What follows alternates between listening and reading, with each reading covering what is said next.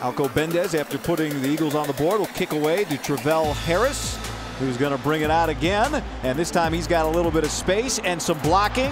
And he's gone across midfield, and now it's just a race.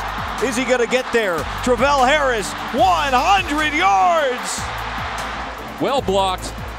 That's just speed you don't see in the FCS.